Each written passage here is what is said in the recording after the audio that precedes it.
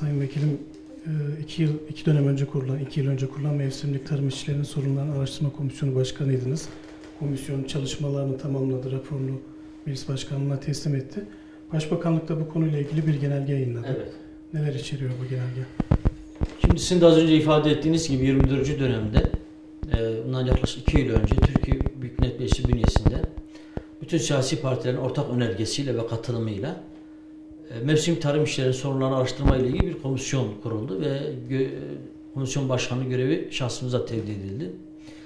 E, tabii e, Türkiye'de yaklaşık e, çocuklarla birlikte, aileleriyle birlikte yaklaşık 1 milyon nüfusa tekabül eden bir mevsimlik tarım e, işçisi gerçeğimiz var.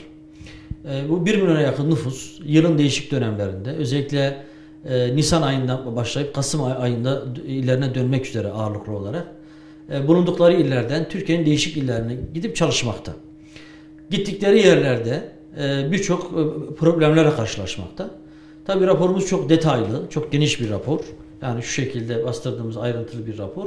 Ama özetle sorarsanız biz e, üç temel alanda ki problemlerin çok ivedi ve acil olduğunu tespitini yaptık.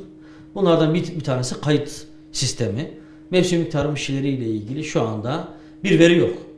Yani gerek çalışanlarla ilgili bir çalışma yapacağınız zaman, gerekse de çocukların eğitimiyle ilgili bir çalışma yapacağınız zaman e, bu anlamda bir verinin olmaması önümüze çok ciddi anlamda bir problem olarak çıktı. İkincisi mevsimlik tarım işçisi olarak giden aileler gittikleri yerlerde kalma yeriyle ilgili ciddi anlamda problemlerle karşı karşıya. Neredeyse tamamı tarlanın ortasında en temel ihtiyaçlarını gidermeden mahrum yani içme suyunun olmadığı, elektriğin olmadığı, altyapının olmadığı çadırlarda yaşamak zorunda kalıyor.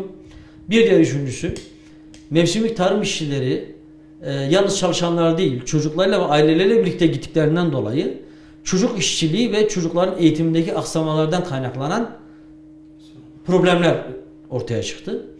Ee, biz özellikle bu üç temel konunun ve ulaşımla ilgili yaşanan problemler de dahil olmak üzere bu problemlerin bir an önce çözülmesiyle ilgili ciddi anlamda öneriler sunduk raporumuzda.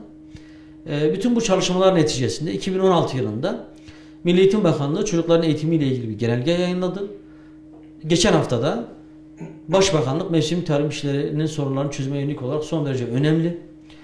Raporun içeriğine uygun önerilerimizi dikkate alan bir genelge yayınladı. Bu genelgede her şeyden önce e, Çalışma ve Sosyal Güvenlik Bakanlığı bünyesinde EMETİP adında bütün mevsimlik tarım işçilerinin kayıt altına alacak bir bilişim altyapısının oluşturulması ve mevsimlik tarım işçilerinin tamamının illerde emniyet müdürlükleri ve jandarma komutanlıkları tarafından kayıt altına alınması ile ilgili bir zorunluluk e, ortaya çıktı. Bu son derece önemli. Şu anda Çalışma Bakanlığı altyapı çalışmaları hazırlıyor.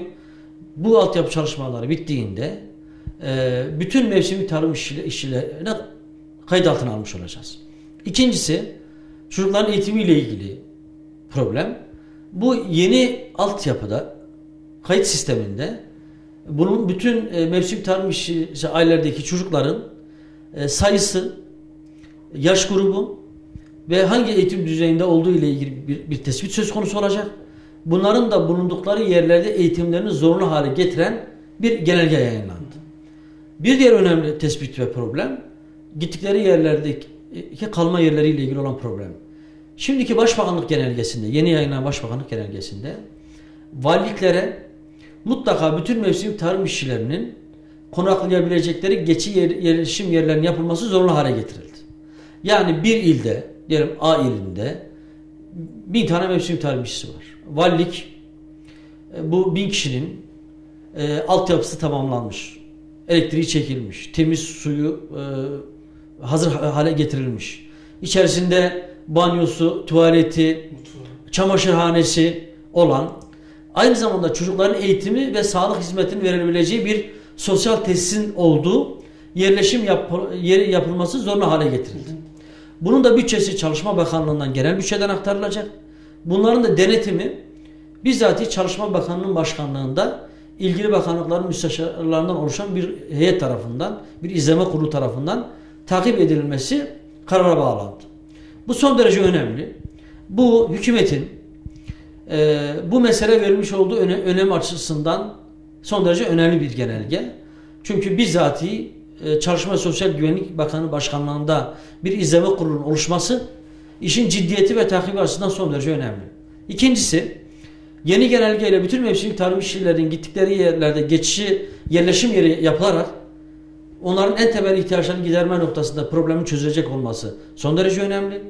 Maddi kaynak anlamında genel bütçede böyle bir kalemin e, ay- ayrılacak olması, ayrılmış olması ki 2017 bütçesinde ayrıldı onu da ifade edeyim. Son derece önemli.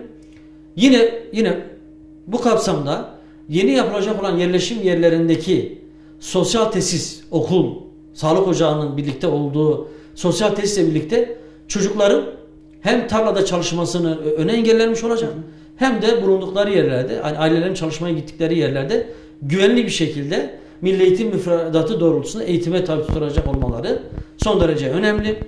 Ee, inşallah 2017 yılı e, mevsimlik tarım işçilerinin bu yayınlanan genelge doğrultusunda uzun yıllarda devam eden problemlerin çözümü noktasında ön- önemli bir yıl olacak. Ben bu konuda katkı veren tüm komisyon üyesi arkadaşlarıma, e, bu süreci takip eden son 3 dönem çalışma bakanlarıma, e, bakanlarımıza ve başbakanımıza hasreten çok teşekkür ediyorum. E, Sayın Başbakanımızın e, bu konunun özel e, takibi e, neticesinde bugün bu genelge yayınlandı. E, inşallah e, bu genelge ile birlikte bu problemler önemli ölçüde bitmiş olacak.